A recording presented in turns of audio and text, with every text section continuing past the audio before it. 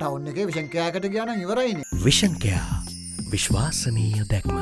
කොළඹ බෞද්ධාලෝක මවතේ පිහිටි ධර්මායතනය වෙත පැමිණි මහශන එක්සත් පෙරමුණේ නායක පාර්ලිමේන්තු මන්ත්‍රයේ දිනේශ් ගුණවර්ධන මහතා පූච්ච ඇල්ලේ ගුණවංශ හිමියන් බැහැදුටවා. මගේ මතේ නම් මේ ආණ්ඩුව දැන් යන්න ඕන. එතකොට හිතන්න පුළුවන් නෑ අරගොල්ලොන්ට මේ කාරණේ නෑ එහෙම හේකුත් නෑ. අපි කවුරුන් හොඳ හොඳ හොඳ පිරිසක් ගොඩනගලා නායකත්වයක් අපි බිහි කරගත යුතුයි. ඒ සඳහා අපි විවිධ සාකච්ඡා විවිධ කොටස් සමග කරමින් පවතිනවා. මේ ආණ්ඩුවේ කිසිම චරිතයක් ජනතාව විශ්වාස කරන්නේ නැහැ. මේ රටේ මිනිස්සු මැට්ටෝ මොඩයෝ මට කනගාටු එක්සත් ජාතික පක්ෂ ගැනත් මොකද එක්සත් ජාතික පක්ෂ බහුතරයක් මගේ පන්සලට ආව ගිය මගේ ඇතැම් දායකයෝ එක්සත් ජාතික පාක්ෂිකයන් නොවන පිටින් ජාතිය ජම්මයක් නැති මිනිස් වරන් ඒක විනාශ කරගත්. මම හිතන්නේ ඒක රනිල් වික්‍රමසිංහ මහත්තයාට තේරෙනවා ඇති. අපිට සුදුසු රටක් අපි හදා ගන්නවා ගන්නවාමයි. දිනේශ් ගුණවර්ධන මන්ත්‍රීවරයා කෝට්ටේ ශ්‍රී කල්්‍යයානී සාමග්‍රී ධර්ම මහා සංඝ සභාවේ මහනායක ආචාර්ය අතිපූචි ඉත්‍යපානේ දම්මාලංකාර නාහිමියන් වද අද බැහැදුටවා.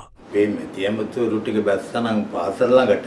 පතා උදේ පැයක් ගත කළා නම් පාසල් ළඟට ගිහිල්ලා. වියසක යනවනේ ළමයින්ගේ ඔය දෙයන්නේ මේ ගම උන්ට හොඳම වෙලාවක් මේක පටන් ගත්තේ. ජනාධිපති එක පැත්තක ආගමති එක පැත්තක ආණ්ඩුව එක පැත්තක. අඩු කිරිච්ච කිරිසි පුදුම ප්‍රමාණයෙන් කවදාවත් මෙහෙම නෑ ඒගොල්ලෝ සූදානම් වෙලා තියෙනවා. අනතිවරු ආණ්ඩුකාරවරු ආදී ප්‍රධාන තනතුරු දරන තැන්වලින් දුන්නා. ඒ නිසා ඒගොල්ලන්ට කරගෙන යන්න පුළුවන්. ඉතිහාසයේ පළවෙනි වරට ලංකාවේ කිසිම කෙනෙක් කියලා නෑ ලංකාව සිංහල බෞද්ධ රටක් නෙවෙයි කියලා. කවුරු හරි කියනවා නම් මේ රටේ පය ගහපු මිනිස්සේ මේක සිංහල බෞද්ධ රටක් නොවේ කියලා. ඒ මිනිස්සයා මං හිතනවා මේ රටට ගැලපෙන පුජ්‍යලයක් නෙවෙයි. මේ අතර ත්‍රස්ත විරෝධී ජාතිකමුතු සහ තවත් සංවිධාන කිහිපයක නියෝජිතීන් අද දෙමළ ජාතික සඳහනේ නායක පාර්ලිමේන්තු මන්ත්‍රී ආර් සම්බන්ධන මහතා මුණ කෙසී රටේ වත්මන් තත්ත්වය සම්බන්ධයෙන් සාකච්ඡා කළා.